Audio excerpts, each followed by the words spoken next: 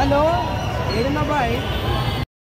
లేదు మళ్ళా రియల్గా తీసిన స్టిచ్ పెట్టాడు సూపర్గా అనిపించేసింది. ఎందుకంటే ఖాళీ ఇలా హైట్గా లేపాడు అది అంత హైట్ లేపాడు.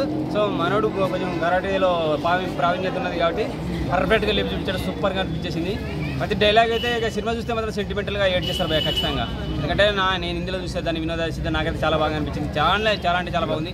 తమనైతే తమ్ముడు తమనైతే ఇరగా తీసిన బీజము ఖతర్నాక్ ఉంది. కాకపోతే ఏంటంటే ఆ సినిమా రియల్గా సినిమా సీరియస్గా వెళ్తుంది.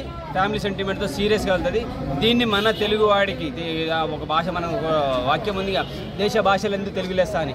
ఖచ్చితంగా తెలుగు వాడికి నచ్చితే అది ప్రపంచవ్యాప్తంగా ప్రతి ఒక్కరికి నచ్చుతుంది. సో అదే సీరియస్నెస్ తీసుకుంటే కొంచెం తగ్గేదేమో సీరియస్నెస్ తీసుకోకుండా ఫ్యామిలీ సెంటిమెంట్స్తో మంచిగా మనకు ఎంటర్టైన్మెంట్ అందిస్తూ ఫ్యాన్స్కి కూడా కావాల్సిన మా మాస్ మసాలా అన్ని ఇరిగి చేసి పెట్టేశాడు కా ఒక సన్నివేశం వస్తుంది కారులో హీరోయిన్తో వచ్చి దగ్గరికి వచ్చి ముద్దు పెట్టే మూమెంట్లో లిప్ కిస్ ఇస్తాడేమో అనుకుంటాము. కానీ చెబ్బి కిస్ పడ్డది. కొంచెం డిసప్పాయింట్ అయ్యాము. సో సినిమాలు చూద్దాం. ఇంకా అంతకు మించింది కిసులు ఉండొచ్చు. ట్రైలర్లో మాత్రం ఆశ పెట్టి వదిలేసిండు అనమాట మంచి ఎంటర్టైన్మెంట్ అయితే ఎంటర్టైన్మెంట్ అయితే కాబోతుంది.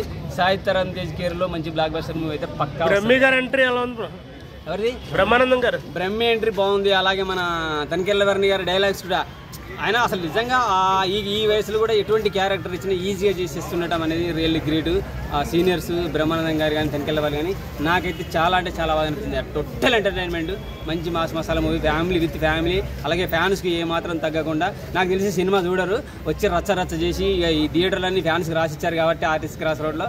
మొత్తం ఆర్టిస్ట్ ఎక్స్రోడ్ ఆర్టిస్ట్ క్లాస్ ఏమున్నాయి మొత్తం రాసిచ్చారు కాబట్టి చింపి షాడ చేసేసి థియేటర్లన్నీ మళ్ళీ పోయి మళ్ళీ రెండు రోజుల తర్వాత వచ్చి హ్యాపీగా ఎంజాయ్ చేస్తారు కావచ్చు. ఫస్ట్ రోజు అయితే పక్కా ఎంజాయ్ చేస్తారు. అది మాత్రం పక్కా గ్యారంటీ సార్ కనిపించి అవన్నీ మాట్లాడితే ఏమవుతారు వీళ్ళంతా?